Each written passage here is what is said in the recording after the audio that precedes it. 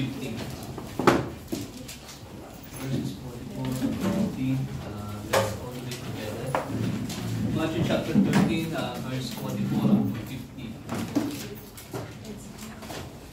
Medyo papasensya rin, medyo mapakalanda ko.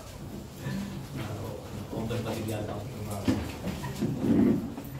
So, uh, bear with me. And, and then, verse 44, let us read all together. Let's read. Again, the kingdom of heaven is like unto a treasure hid in the field, the which when the man had found, he hid it and full joy thereof goeth and selleth all that he had, and buyeth the field.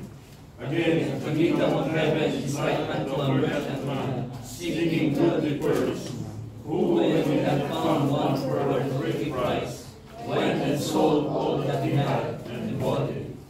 Again, the kingdom of heaven is like unto a net that was cast into the sea, and gathered of every kind, which when it was full, they drew to shore and sat down, and gathered the goods into vessels, but cast the bad away.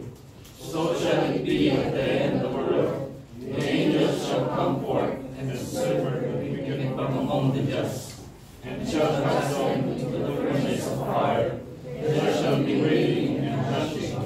Let's pray.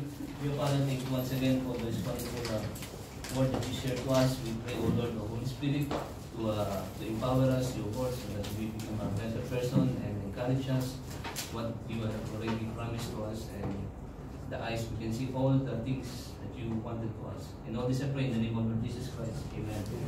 Amen. So this is ang continuation ng natin ng mga parables. Know?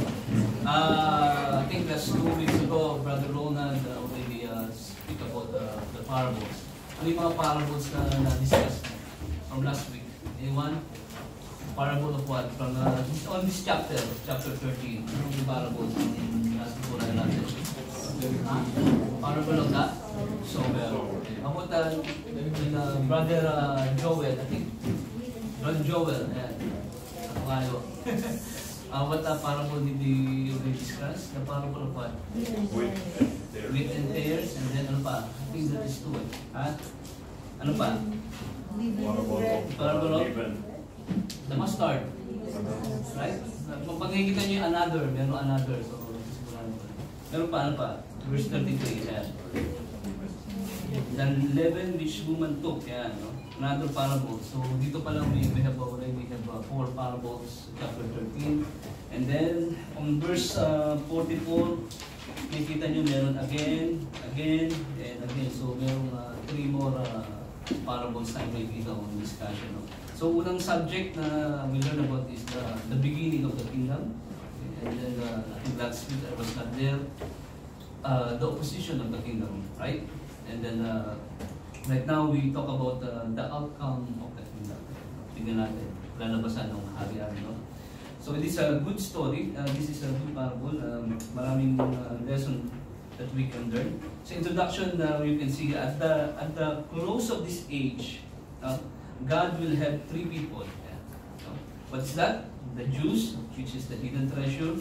Then the church, uh, which is the bird. And the saved Gentile nation who will enter the kingdom, or the, they call it Dragnet. So, uh, first lesson na gusto kong makita nyo dito in verse 44, sabi dito, tignan natin namin theoretical application, tapos tignan natin kung paano makikita yung practical application. No?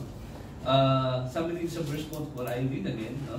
sabi dito, um, again, the kingdom of heaven is like unto a treasure hid in a field. No? So this is, is like an illustration. No? Like uh, the kingdom is displayed that there is a treasure in the field, that the which when the man had found, he hid and enjoyed thereof going and selling all that he had and buying the field. So, so parang yung dito, no? In Tagalog, uh, there's a man who saw there's a there's a field. So there's a treasure there in the field. So what he did is he hid it and then supposed to be that's a good thing, right? So what he did is he said everything what he had and then uh, and then he buy that field. It's like investment, no? Ah, investment yan. It's like an investment. So number one, we can see the lesson here, no? Sabi natin, the three kind of people, the hidden treasure, no? On yung one, the hidden treasure. So wait, the the treasure is the nation of what? Yeah. Israel. Right? Saan natin makikita yon? Tingnan natin sa Exodus chapter 19. Tingnan natin dito. Ex- Exodus chapter 19 and verse 5. Tingnan natin ha. Sabi tingnan nyo dito. Now therefore, if you will obey my voice indeed, and keep my covenant, then you shall be a peculiar treasure unto me above all people, for all the earth is mine. So, ano yung peculiar? It's like a distinct, uh, special. No? So, may kita natin isa pa. Sa Psalms uh, 135. Natin dito. 135. So, kita natin, the hidden treasure is the nation of Israel. Verse uh, 4, natin dito. The Bible says that, For the Lord had chosen Jacob unto himself, and Israel for his peculiar treasure. Ayan naman, na naman yung peculiar treasure. So, so the treasure is the nation of Israel, placed in the world to bring glory to God. So that's the purpose of the nation of Israel, no? Uh, are the one who chosen by God to bring glory to Him. But what happened? They they no? They failed. Hindi sila naging successful. So, it become a nation hidden, no? A treasure not being invested to produce dividends for God. No? Talagang hindi sila nag-invest, no? Supposed to be, they are the ones supposed to be ginagamit ng Panginoon in the ministry. No? I think I, I'm trying to look on uh, Romans kung saan meron doon na, I think, kung magagamit, kung uh, if the Jew will be uh, like us, no, have been using by God, they will become more effective. I think that's one is Romans 9 to 10, I think. So, uh, ganoon sila. So, they are chosen to become uh, the representative para sa Gentiles around the world. No? No? Mas effective sila. No. Letter B, the Lord Jesus gave His all to purchase the whole world in order to save the nation. No? Tingnan nyo kung gaano nakamahal ang nation of Israel. In John chapter 11, tingnan natin dito. John chapter 11, tingnan natin dito ha. Verse 51. tingnan nyo ha. Sabi ng Bible dito, 11 verse 51. And this spake he not himself, but being high priest that year, he prophesied that Jesus should die for for what? For that nation, no? Hindi na siya naman, he's not only die for all uh, for all the world, hindi lang, but see, there's a special things about the nation of Israel from the heart of the Lord Jesus Christ, no? Sabi niya, that nation, that he died for that nation, no? So makikita mo talaga, this, that is a hidden treasure, no? Ang kaapala ng bansang Israel, no? So, uh, on the cross, tingnan nyo pa, isa pa, on Isaiah chapter 53, isa pa. On Isaiah chapter 53. Isaiah chapter 53, verse uh, 8, tingnan natin pa. Verse 8. Ito pang uh, uh, passage kung gaano ka kamahal na ito. Ibi- can you imagine God purchasing? Tingnan rito. 53 verse 8, sabi rito. He was taken from prison and from judgment, and who shall declare his generation? What is that? For he was cut off out of the land of the living, for the transgression of my people, okay, the nation of Israel, was he stricken. No? Sinaktan siya. No? He was stricken for the nation of Israel. So matindi yung ano, the life of the Lord Jesus Christ gave for the nation of Israel. No? Not only for the world, but there's something very special for the nation of Israel. Talagang, uh, uh, I don't know how much special ng bansang to. No. No, the nation, the nation suffered and seeing destruction. But in God's sight, it is hidden and it will reveal again His glory. No? Siguro sa ngayon, uh, we can see uh, uh, we can see the, the nation of Israel na ginagamit ng Panginoon no? as now, no? Uh, their policies talagang uh, contradict sa uh, Christian living natin no? on our belief of the Lord Jesus Christ. No? There's a lot of judgment. If you can, if you can notice, you start from uh, uh, from the year 10,000. Makikita mo dyan yung uh, a lot of persecution naranasan ng mga Jew. No? Napunta sila ng Cambodia, they are persecuted. Then the latest was the, I think, here in the, remember in World War II, right? The Holocaust. No? So they have been persecuted, no? So uh, God sees Israel as His treasure, right? And one day, He will establish her in her glorious kingdom. So there will be a time na talagang uh, nagamitin ng Panginoon itong uh, itong uh, hidden na itong uh, itong the nation of Israel no? Talagang ano lang the, napaka-swerte talaga nila napakapalad ba? They're very uh, blessed this uh, this nation of Israel kahit na even though they are very disobedient to the word of God no? So ano makikita natin dito na no? So talaga na since itong nation of Israel to theoretically it's good that we invest on that nation. In what way? In what way? Pwede ba tayong magkaroon we submit to their policy. Hindi naman siguro magaling mga policy nila ng government policy. I think it's good that we uh, we pray for this nation, right?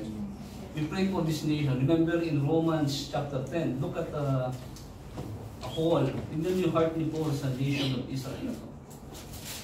Romans 10. Tingnan yung heart niya sa nation of Israel. Sabi niya, Brethren, my heart's desire and prayer to God for Israel is, what is that? That they might be saved. No? Gusto rin ng, gusto rin ng, ano, gusto rin ni uh, Paul that uh, this nation should be saved. Because they're also human being, right? No?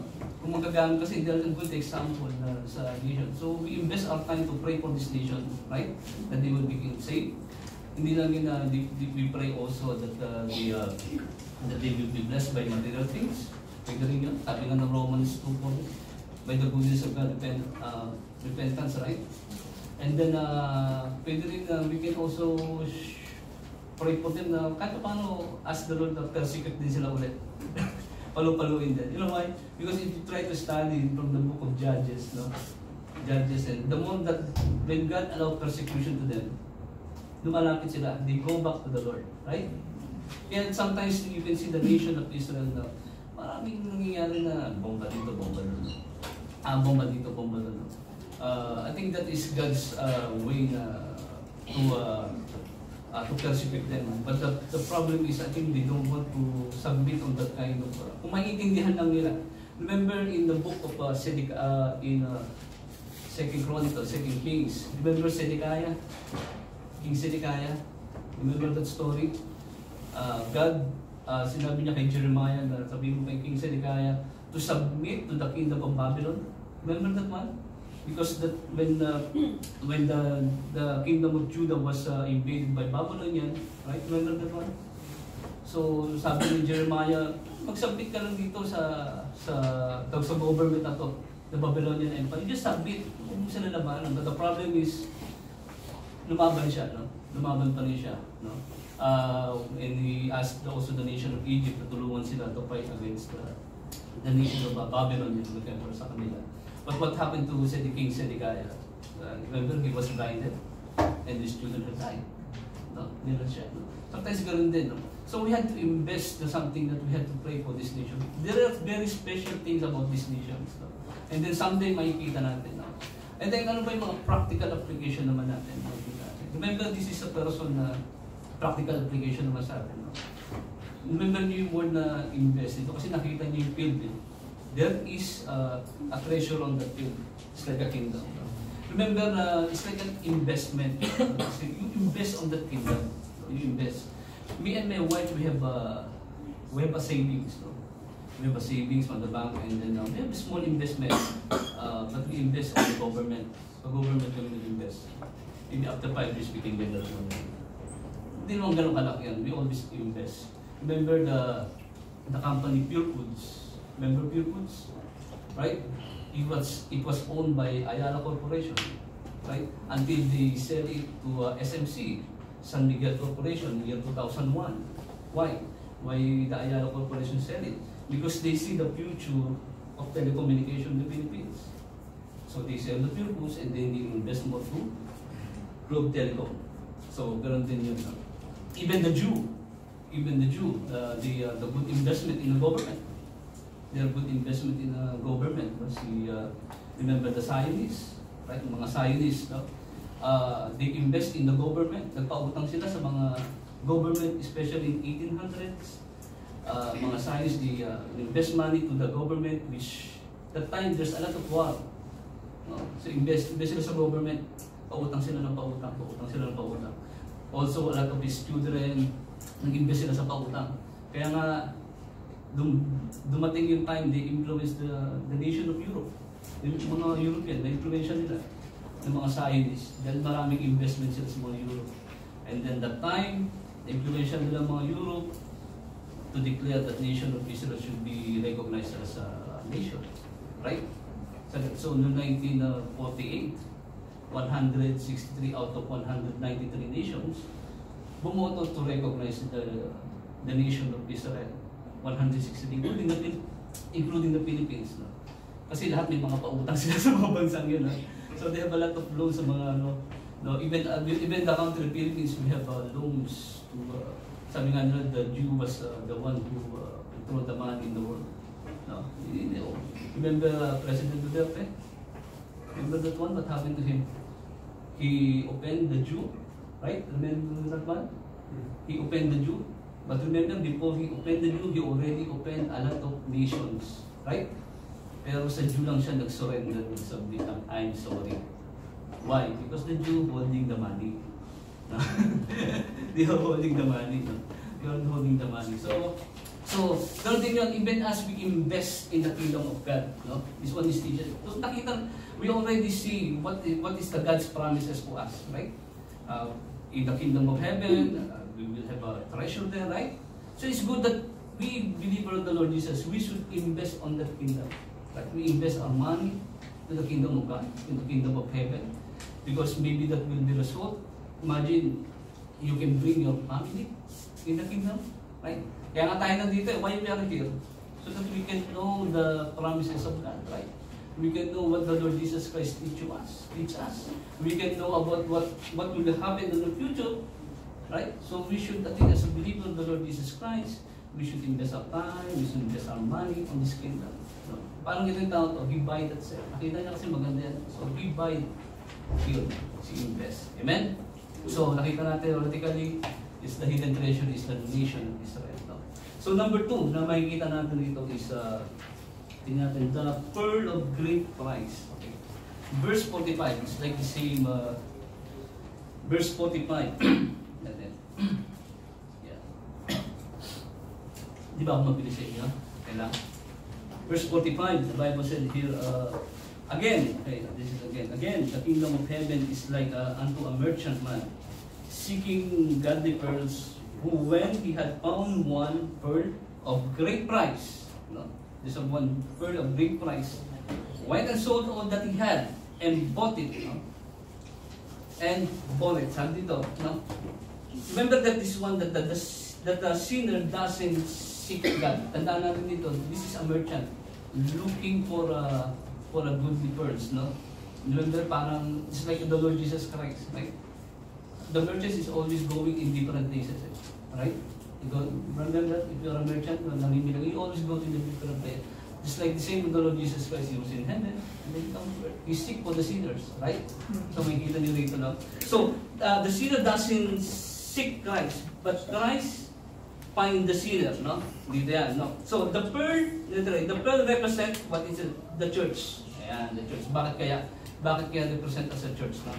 Ah, the Bible makes a distinction from between Jew, Jews, Gentile, and the church. In 1 Corinthians chapter 10, yan, 10.32, pagkatapos ng, uh, yan, uh, wherefore therefore you eat or drink, do it for the glory of God, no?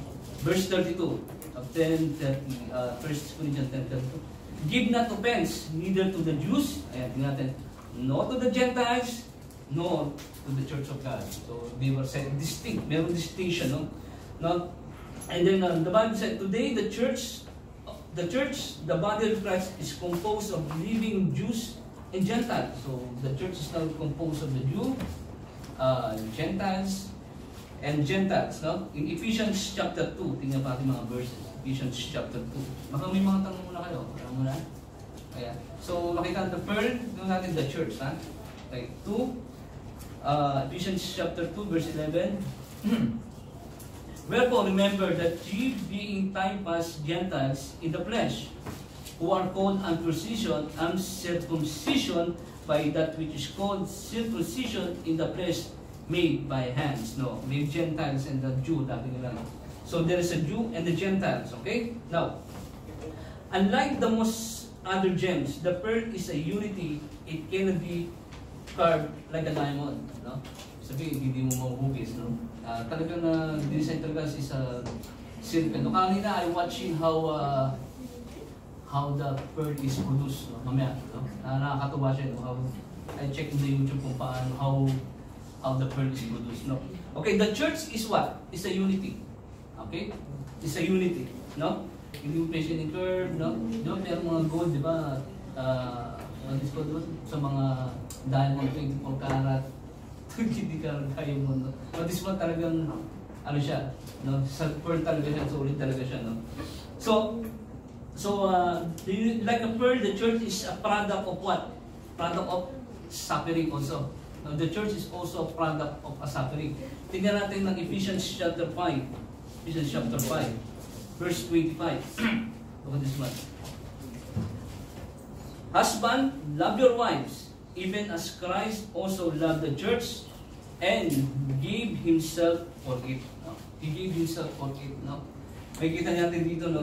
It's the part of suffering. Alam naman natin what happened to the Lord Jesus Christ, right? Ano natin, he was uh, beaten and then he was uh, crucified on the cross and he died. No? That is for the church. Remembering Acts 20, 28. No? He purchased it with, the church was purchased by, by his blood. No? So, ganun din naman yung pearl, especially the pearl, pag pinag-aralan mo ng pearl. Napuproduce ang pearl if there is a pain. Right? If you study that, there is a pain, no? Example, if there uh, is, you know the, you know the oyster, right? Hindi yung shark, shark, shark, shark. no? Ayan na. It's the oyster, right? So it was enclosed. So any parasite na pwedeng pumasok sa loob ng uh, sa loob niya or any uh, sand na sand na pwedeng pumasok sa loob niya because they are very sensitive, right? So, ito ang example na there's a parasite coming inside of the his, his shell, inside the shell yung kanyang mantle. So talaga automatic it was it will be covered by uh, gradually, no? Gradually, dandan, it will be covered like a white coating, no? So just check the YouTube kung paano yan.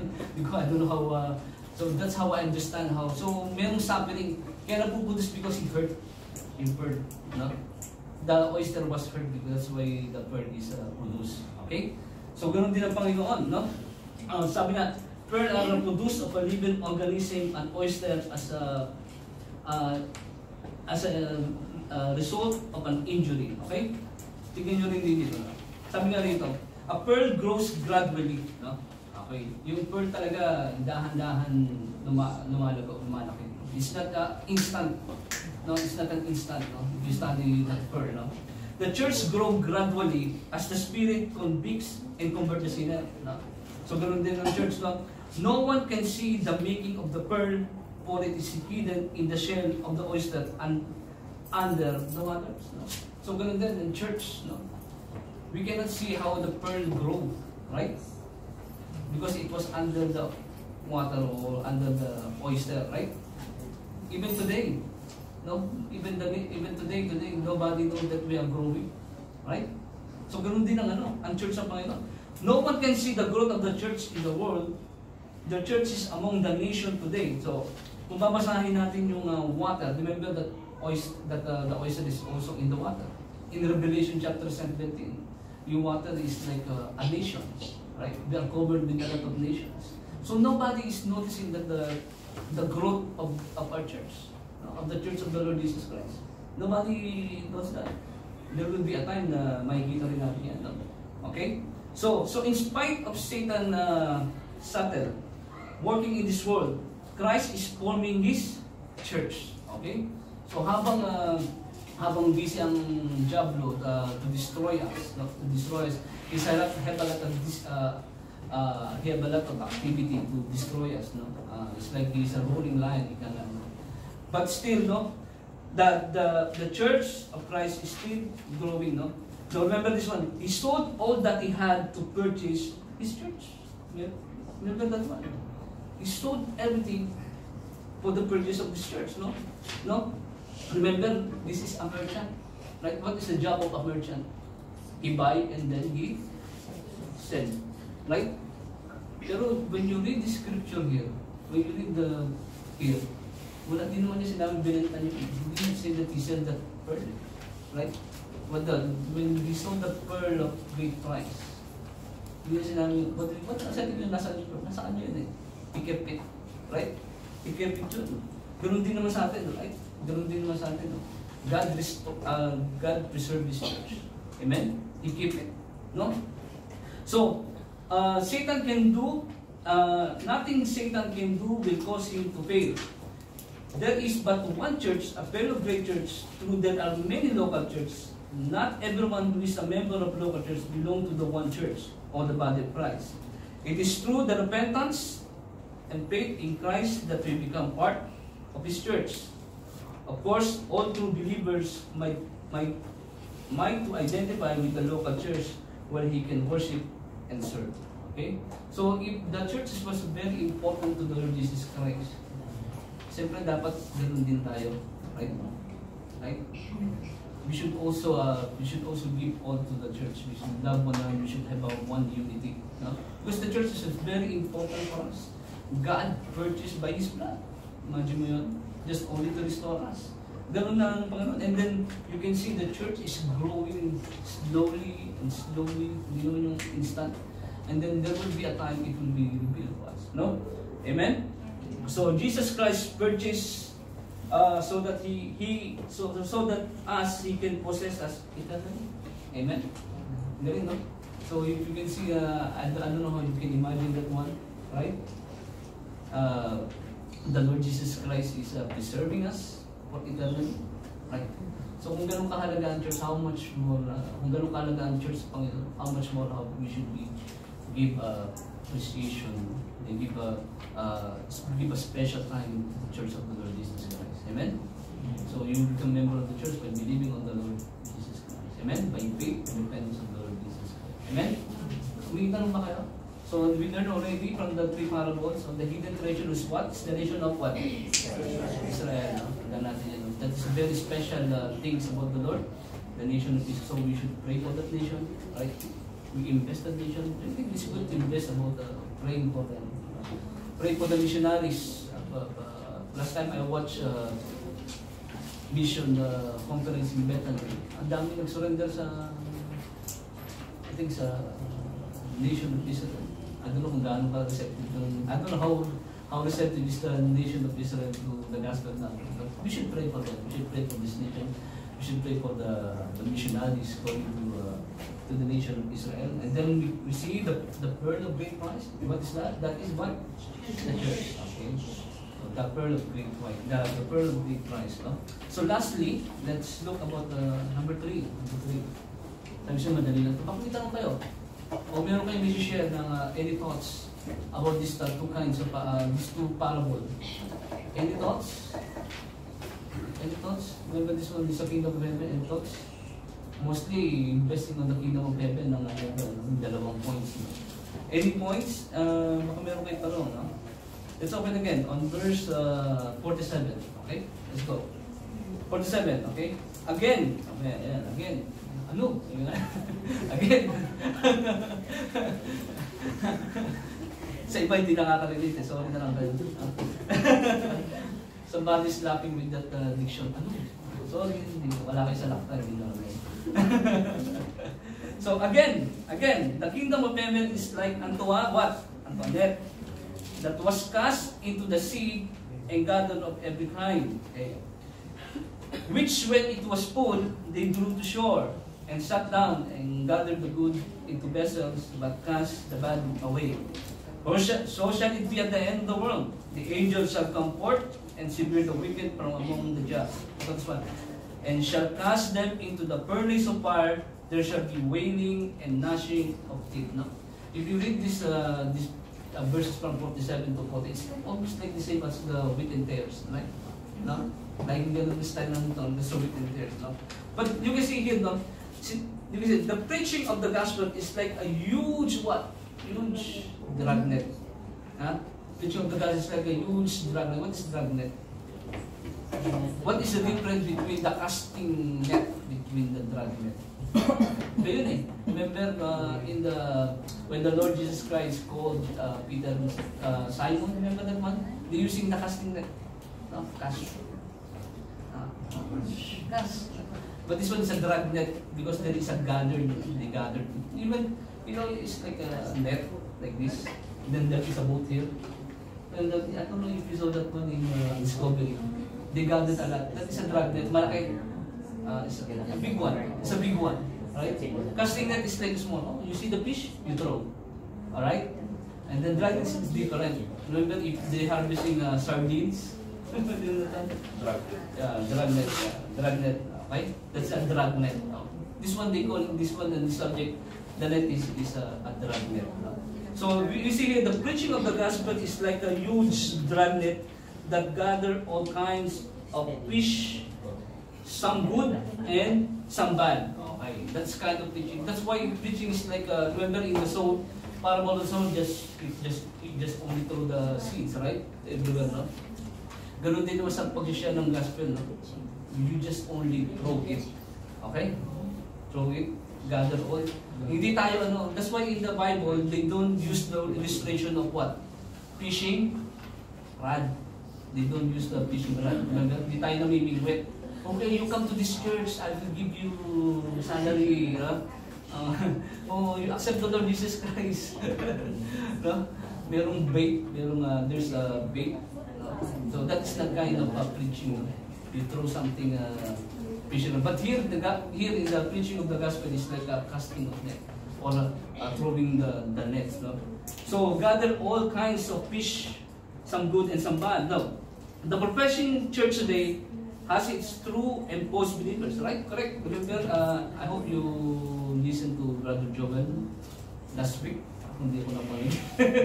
But I read uh, his notes. I read his notes. No? It's like a and tears. Remember that one? At the end of the age, God will separate them. Okay? So, ito be, when the Lord returns to earth, He will separate believers and what? Unbelievers. These are the living who are not a part of the church or Israel. Okay? So you can see here in this merong, merong uh, in verse uh, in verse 47 and 14, there's two kind of period. Maybe you know, there is a period of what? There is a period of what? Fishing. Okay? And then there is also period of what? Separation. Uh, nakita niya? When, the, when he gather and then make food, and then they separate. So may separation that time. So today is the day of what? Today is the day of fishing. So we should fish. Yan. Sino na ba nahuli niyo? We should preach. We should preach the gospel now. Okay? The day because there will be a time, there will be a day of separation. Okay? I hope your family is included on that fishing. No? Included on that, uh, right? So that's, that is the same like that. No? These Gentiles will be dealt with uh, within uh, within righteousness. The saved will enter into the kingdom, but the unsaved will be cast into the furnace of fire. There will be the day of fishing. There will be a day of separation. No? If you listen to Brother uh, Joel last week, no? Uh, they will separate. And those, those bad ones will be thrown to the furnace of fire. Amen? So I hope you're included on that kind of good fish, right? Or you bring a good fish. so inside the church, no? So today is a fishing. That is a good thing that we should also uh, just preach the gospel of the Lord Jesus, right? Just like an egg, just throw it, or just uh, only, walang ano, walang pain, walang pain, ika nga. We're not doing a fishing, right? We're doing the net of kind of preaching, no? Like a casting, you cast, you just throw. Then, so what's significant it one, it will be kahit if you're preaching the word of God, there will be person will be saved. Tandaan yan, okay? Merong masisave, no? Don't, do not be discouraged if there's someone uh, you think that sometimes, sometimes it's just like what I've been before. Meron akong nagsisave pag ako nagsasalita, pag ako nagsishare. But, you know, don't be discouraged. no? Just preach and preach the gospel of the Lord Jesus Christ. You don't know. Maybe uh, you don't know what you have already uh, put inside the heart of the man. Amen? So, okay? So, as a conclusion, we are blessed by the grace of God to be part of that, what? Of the church. Okay? A member of His body. We do not have to worry or fear the dreadful judgment. No. So, we do not to worry about the fearful judgment. Pero, but we should worry if our relative is not included on judgment. Amen? Right? We should not worry, but we should worry about that. Not those people. No? About our children, about our wife, kids, father, mother. No? Hindi nga, hindi nga tayo darating sa judgment but how about our loved ones after everything? Can you imagine if we were going to share the gospel of the Lord Jesus Christ? We can bring them to the promise of the Lord Jesus Christ. Okay? And then, uh, because we are His children, redeemed by His precious blood, we just have to share the message of the gospel to our family and friends before it's too late. Amen? So we learn about uh, the hidden treasure with the, the nation of Israel, okay? And the verb of the church, and the next is the gentle nation. Amen? So may mga tanong kayo? Pag may tanong kayo, may tanong kayo. Any uh, commentary? Do you have any commentary on these verses? Understand? Understand? Ay, may commentary. Yan, yun yung commentary. Uh, yun, may commentary. Ah, ah, yung, yung Bible kasi yung uh, hindi, hindi, hindi. Ano bang yung malaking Bible? Malaking Bible. Doon sa Matthew chapter 14, ay chapter 3, verse 44. O kung makikita nyo merong verse doon sa baba. So yung mga sa verse 44, Hmm. yung open Bible. Doon sa baba yung may, may nakalagay ko sa inyo. Ay, di lahat pala, sorry. sorry. Uh, meron kasi sa akin nakalagay doon Philip, sa Philippians 3, 7 and 8. Basahin natin sa Philippians 3, 7 Brad, kumitari ng Brad. Medyo rin kapit na tayo. Pwede lang ba? 3, 17.